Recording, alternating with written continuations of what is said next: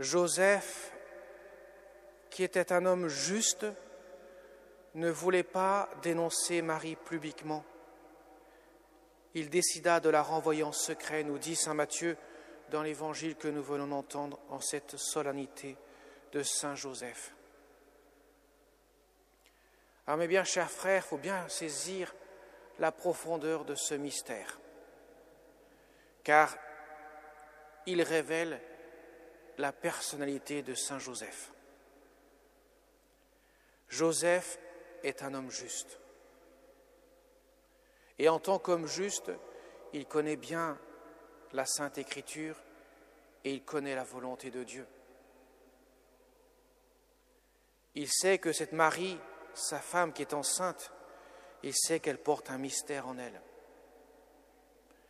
Il est loin de penser qu'elle est enceinte naturellement. Il voit la grandeur de la sainteté de son épouse et quand il voit qu'elle porte un enfant qui vient de Dieu, il dit bien sûr, il dit, je ne peux pas la prendre pour épouse. Je ne veux surtout pas contrarier le projet de Dieu. Alors il décide de la, renvoyer en secret et non pas publiquement. Pour la bonne raison que s'il le faisait en publiquement, Marie serait tout de suite exposée à la lapidation parce qu'il est évident pour les Hébreux de l'époque, euh, d'ailleurs comme pour chacun d'entre nous aujourd'hui, s'il n'y avait pas ce mystère-là, c'est l'unique cas dans l'histoire de l'humanité, la Vierge Marie aurait été bien sûr enfantée, elle aurait enfanté un enfant avec un autre homme. Mais là, le mystère dépasse tout ce que l'entendement peut entendre. Il est évident pour Joseph, il fallait le faire en secret, pour préserver le mystère de Dieu et ne surtout pas nous mettre la main sur ce que Dieu a décidé. Et ainsi, en voulant se retirer, lui, l'homme juste par excellence, pense accomplir l'œuvre de Dieu.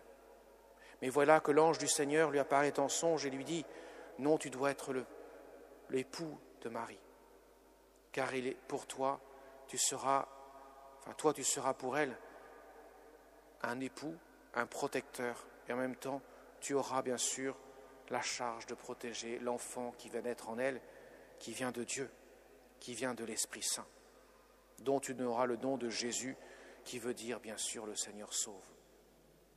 Joseph s'exécute.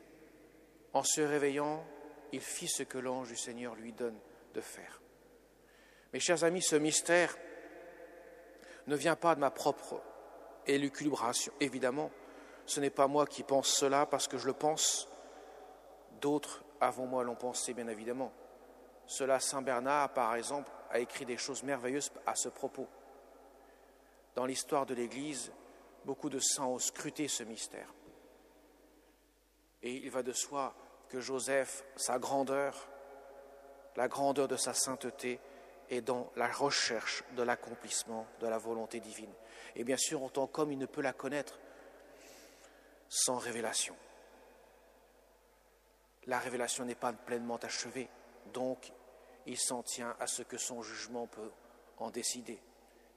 Et Dieu lui donne tout ce qu'il doit savoir. Le secret de la vie de Saint Joseph réside bien sûr dans cette vertu de la chasteté qui est en lui. Et pour cela, il exerce une paternité authentique, celle que Dieu veut donner à chacun des hommes, dans le sens aussi bien de la paternité biologique pour les pères de famille que la paternité spirituelle pour les prêtres, les évêques.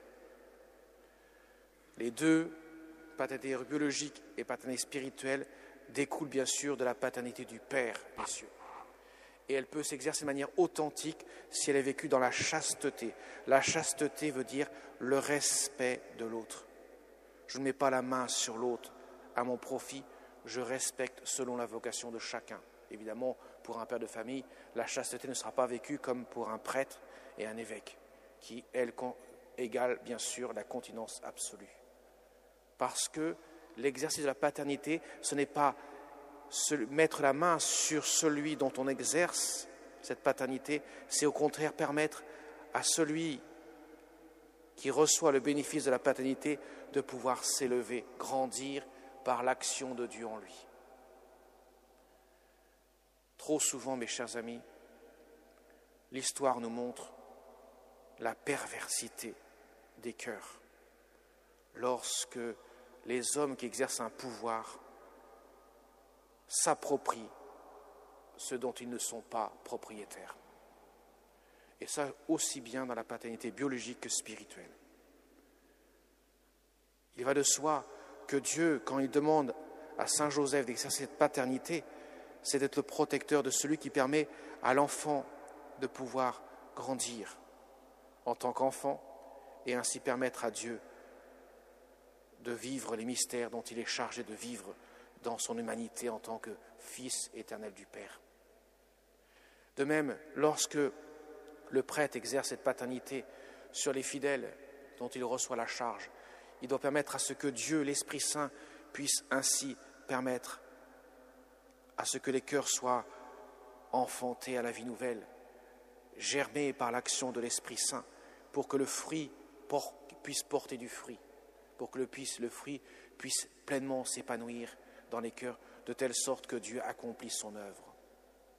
Car Dieu veut que nous puissions les uns les autres nous élever jusqu'à lui dans la communion des saints. Voyez mes chers amis, le rôle de Saint Joseph nous montre à quel point, dans le mystère de l'Église, nous avons besoin d'un protecteur, de celui qui veille. D'ailleurs, c'est le sens même de l'épiscopat. L'évêque, c'est celui qui veille sur, episcopus en latin. Celui qui veille sur l'autre dont il a la charge, non pas en tant que mettant la main sur lui, mais au contraire permettant les dons de Dieu prendre, permettre tous les fruits qui puissent se déployer en lui. Alors demandons au Saint Joseph, celui que nous fêtons aujourd'hui, celui qui est le protecteur de la Sainte Famille, celui qui est le protecteur de la Sainte Église, que Dieu lui a confié. Demandons-lui de nous aider à grandir dans le don de notre personne, car Saint Joseph se donne pleinement à lui, à tous.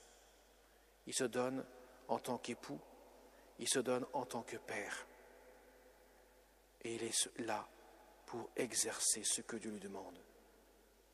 Exercer cette paternité qui vient de Dieu. Exercer ce rôle protecteur pour que nous puissions voir l'action de Dieu en nous. Car Dieu agit en profondeur dans les cœurs qui se donnent pleinement à lui. Demandons aussi à notre Mère du ciel, celle qui avait vu dans la personne de son époux Saint Joseph un homme de Dieu, profondément épris de Dieu, un homme qui respecte profondément le mystère dont elle, porte dans son sein, dans son cœur, dont elle est habitée, elle dont elle aussi est habitée par le mystère de la virginité, et que Saint Joseph sera le protecteur de ce mystère. Demandons si à notre Mère du ciel de nous aider à grandir dans l'amour de l'Église, elle qui l'incarne singulièrement dans sa vie de chaque jour.